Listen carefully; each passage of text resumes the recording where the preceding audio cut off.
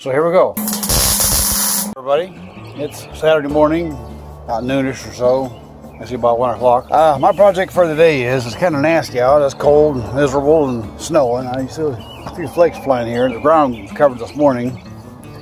So this morning, I'm trying to, or today, I'm going to try to do a few things I've been wanting to do for a while. Past videos, you've seen I got a collection of ladders. I got some big step ladders and some fiberglass ladders I was using to cut my trees down with the other day.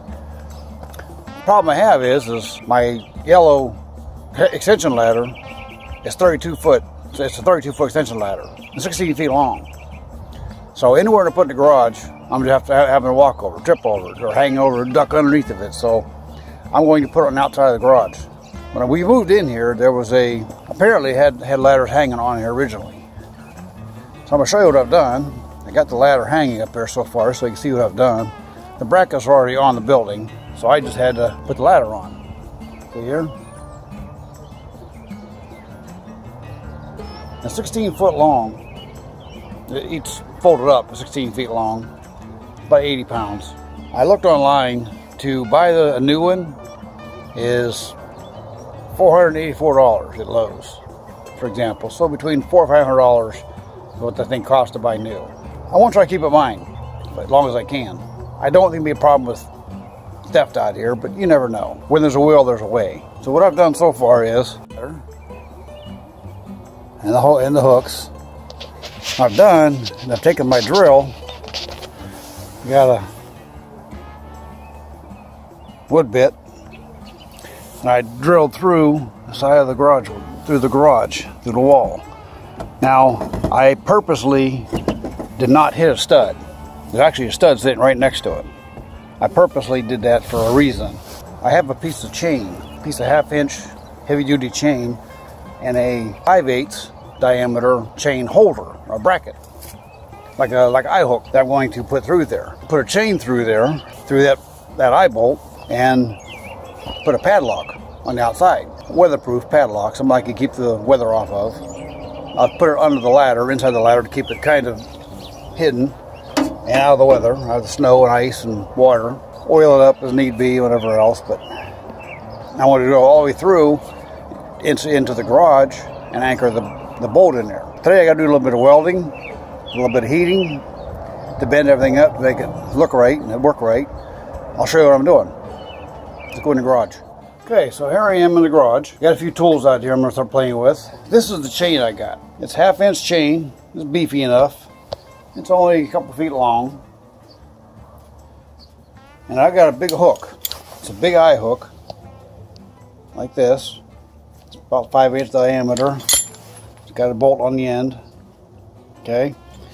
What I want to do is I want to close this loop up on this hook and weld it so it doesn't come out. So it makes it, it makes it a nice loop on here and this chain's trapped in there. I'll put it through the wall, anchor it inside, take the chain, able to loop, loop it around the ladder and put a padlock on it. It's not going to go anywhere until I, until I let it go anywhere. Anyways, I'll show you what I'm doing. First thing I gotta do is I gotta bend that. Now this is pretty stout stuff. You're not gonna bend it with a, piece of, a pair of pliers or a, piece of, or a pair of channel locks. So I'm going to use my trusty little oxyacetylene torch kit. We're done with that. Then I'm gonna go to my trusty MIG welder. Weld it up. Also want to weld on the inside of this this nut. I'm gonna weld a washer somewhere right about in about that area. This way it'll go through the wall. That'll stop from going through the wall. Then this, I'm going to put a 2x10 or 2x8 or something on the inside of it on the inside of the wall so they can't pull this out.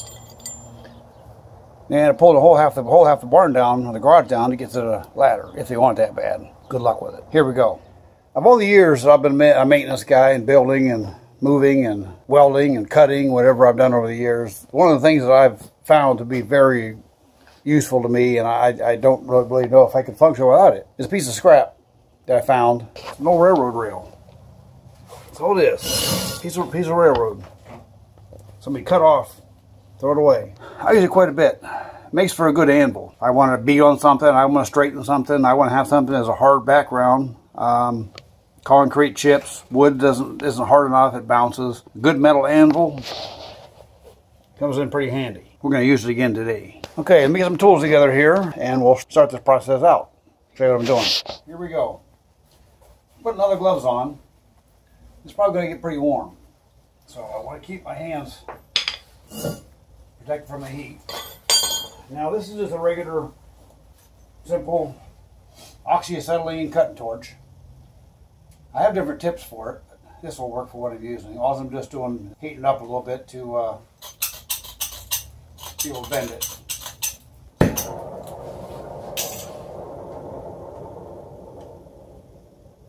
All I'm doing is heating this to heat up. A little heat to it. That's all I need.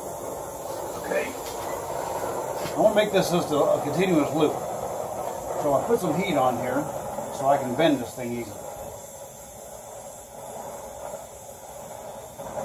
Once I get it good and red, good hot, I'll be able to bend that steel a whole lot easier and try and do it cold. Once it's getting red, that's what I want.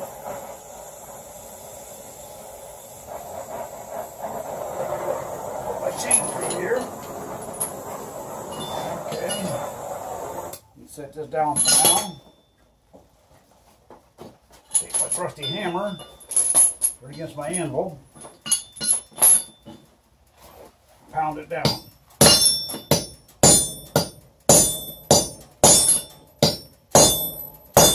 There you go. Nice loop. See it's still red, still red hot. That'll cool. But in the meantime, we're done with this.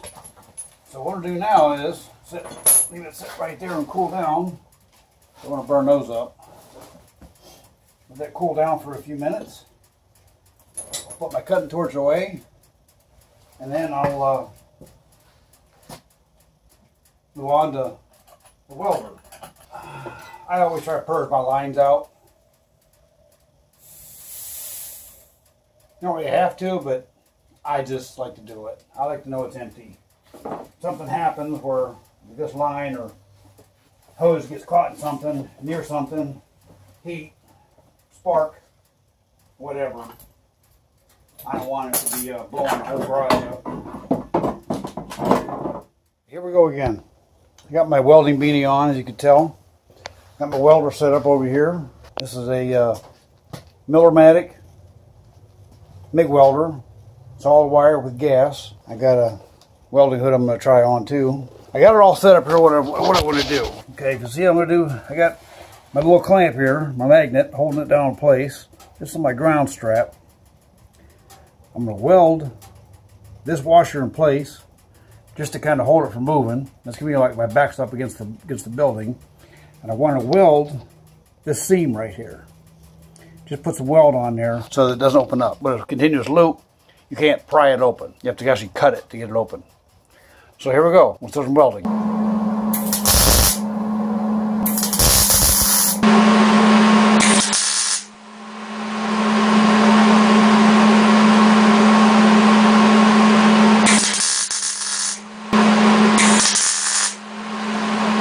Anyways, here I want to show you this project I finished up. I meant to do the other day, um, but my uh, everything died. My phone was out of storage, the camera batteries were dead, and everything else. So I kind of couldn't show you what I had to finish project. So I'm gonna come out today and show you what actually what I did. I'll show you the ladder and where I'm at. This is the ladder, 32 foot extension ladder, and this is, is the thing I made. See inside here? This is that part I bent.